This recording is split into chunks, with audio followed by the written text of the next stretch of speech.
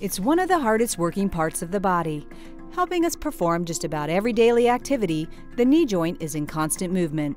As a result, it is subject to a significant amount of wear and tear and is more likely to be injured than any other joint in the body. It's no wonder knee replacement surgery is one of the most common procedures performed in the United States today.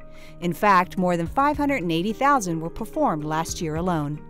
Total knee replacement is actually a complete resurfacing of all of the articular parts of the knee. Uh, articular parts being the surfaces of the knee of the bones themselves, the femur, the tibia, and the underside of the kneecap. The most common cause for knee pain and disability is arthritis. A condition that causes the cartilage that cushions the bone to soften and wear away, arthritis usually occurs in people 50 years of age and older. With Americans living longer than ever before and living more active lives, the number of total knee replacements performed in the U.S. is only expected to increase. The major trend in knee replacement surgery uh, in this country as well as abroad is, is, the fact that our populations are continuing to age. The numbers of patients that were performing knee replacements uh, is growing. They're getting it done at a younger age and they're demanding much more out of their knee surgeries. I decided to undergo knee surgery because I wanted to become more active again. Um, my physical ability to be able to go out and dance or to even walk for long periods of time had gotten to a point where I could no longer do that with just the cortisone shots. First performed in 1968, knee replacement surgery has come a long way. Improvements in surgical techniques and materials have greatly improved the effectiveness of the procedure but a process called oxidation can degrade one of the main materials of the replacement component, contributing to increased wear and ultimately leading to revision procedures.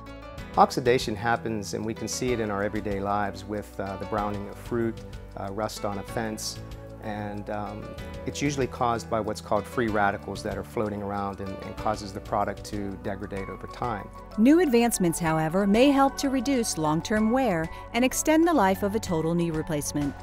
Created by DJO Surgical, a leading surgical products manufacturer, E Plus is the first FDA cleared insert component that is blended with vitamin E, which is added to polyethylene to stop the oxidation process.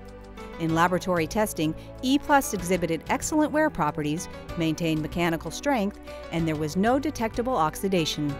DJO's vitamin E polyethylene, the E Plus, is a blended polyethylene, where the resin of the polyethylene is actually blended with vitamin E, which is unique and different than any other product on the market.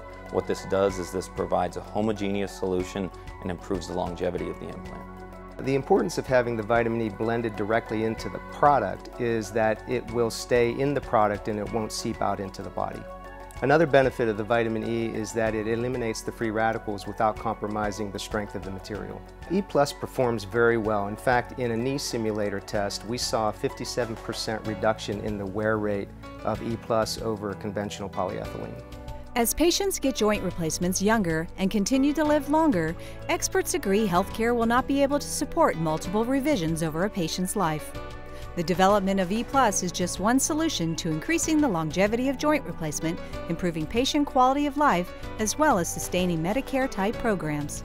As an industry leader in developing orthopedic surgery products, DJO Surgical plans to continue integrating this innovative technology into other joint replacement procedures with the goal of improving lives and bringing the highest quality orthopedic products to today's rapidly changing medical world.